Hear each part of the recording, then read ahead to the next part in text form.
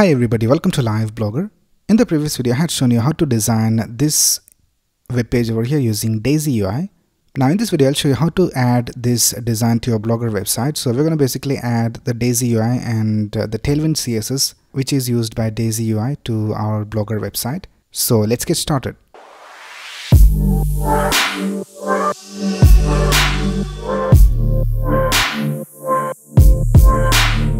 Right, so here I have logged into my Blogger dashboard and uh, the theme that I'm using is called Contempo which comes by default with Blogger. And this is how the theme looks. So let's go over here and add this design to a page. So here let's go to pages and let's create a new page. And uh, let's type test for the title. You can add your title over here.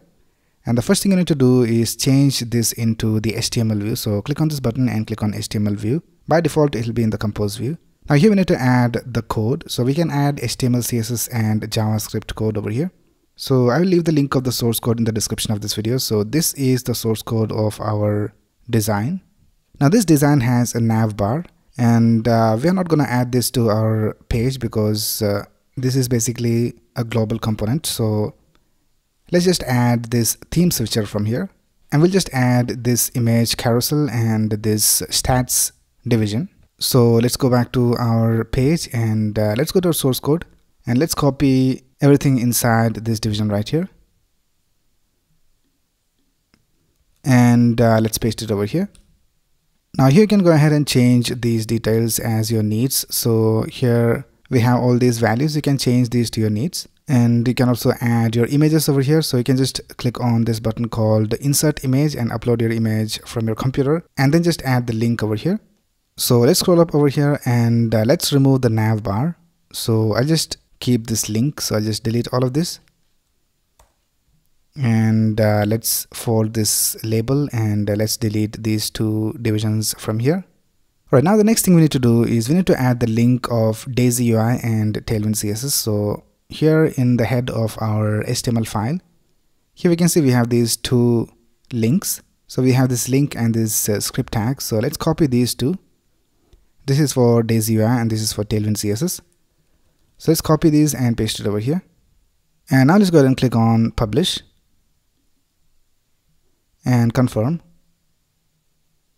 And now let's open this page and this is how the page looks. Now we have some problems in the design. That's because uh, we have this uh, aside over here and uh, since we are using Tailwind CSS, Tailwind CSS already has a class called container and in our theme also we have some class called container. So if you go over here to sidebar, here we can see that we have this class called container. Now since Tailwind also has this class of container, it is being added to the container of our theme. So what we need to do is we need to disable container from the Tailwind CSS config. So let's go back to our page.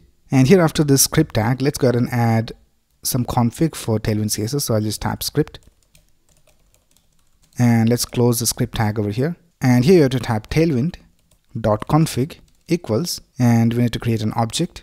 And here we need to type core plugins. And uh, here we need to type container false.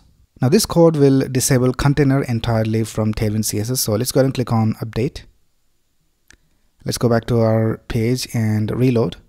And now we can see that it looks alright and uh, we don't have the full width for the container. Now the next thing we will do is we will add some margin for this uh, theme switcher. So let's go back over here and here for the label, let's add a div around this label. So I'll just type div and let's add some Tailwind CSS classes over here. Now in Tailwind CSS, if you want to add a margin top and bottom, you can just type my hyphen and the value. And let's set the value to 8. So let's click on update. Let's go back to our page and reload. And now we can see that we have this margin. Now the next thing we need to do is by default, we need to have the light theme. And when we click on this uh, theme switcher button we need to change the theme to dark. So if you go back to our source code here we can see that in the HTML we had set the data theme to winter. So let's do that. Let's go back to our uh, theme code. So here you have to click on theme and click on this arrow and click on edit HTML and here in the HTML we need to add data hyphen theme and we need to set it to winter. And let's go ahead and click on save Let's go back to our page and reload. And now we can see that we have this uh, light theme by default. And if I click on this uh, theme switcher, And now we can see we have this dark theme. So that's basically how you can add Daisy UI components to your Blogger website. Now Daisy UI is being used in websites to make designing faster. So in the previous video I had shown you how to design this uh, web page really quickly using Daisy UI and Tailwind CSS. Alright, so that's basically it for this video. If you have any doubts, you can ask in the comments below. And if you like this video, please click on the like button and subscribe to this channel to get the latest video updates. Thanks a lot for watching. Have a nice day.